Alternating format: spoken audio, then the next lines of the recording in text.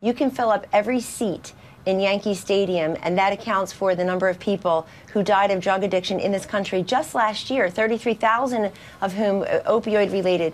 It's a gateway to heroin use, fentanyl, carfentanil. It's all a big problem. And so pouring money into the problem is not the only answer. We have to get serious about in facility treatment and recovery. That takes It's money, Kellyanne. It takes money, and it also takes a four-letter word called will. It takes a focus that that it includes money, but it also includes understanding the difference between just interdiction and prevention, but also recovery and treatment.